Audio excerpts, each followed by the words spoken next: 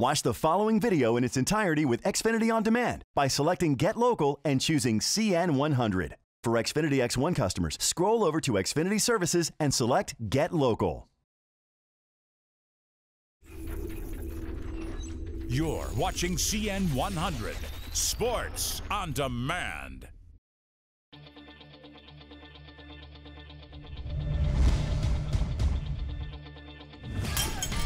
Remember, Crete-Monee deferred, so they're going to get the ball to start the second half. Green in his end zone looking to throw, has nowhere to go with it. Look out.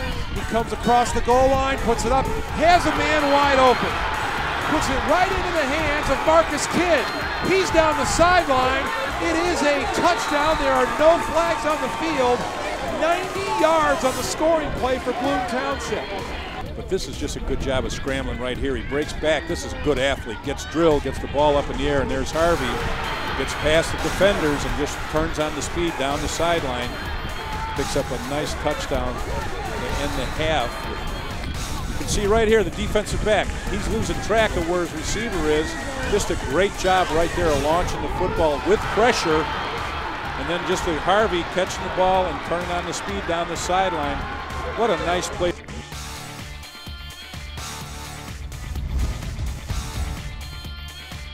Like I said, I'm, I'm shocked these two have never played each other because they do not shy away from good competition.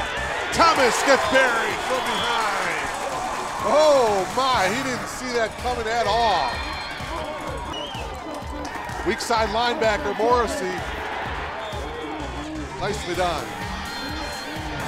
Well, he comes in unblocked.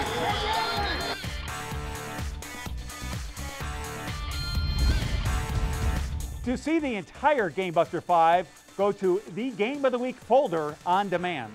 View the following program in its entirety with Xfinity On Demand by selecting Get Local and choosing All HS Sports. For Xfinity X1 customers, scroll over to Xfinity Services and select Get Local.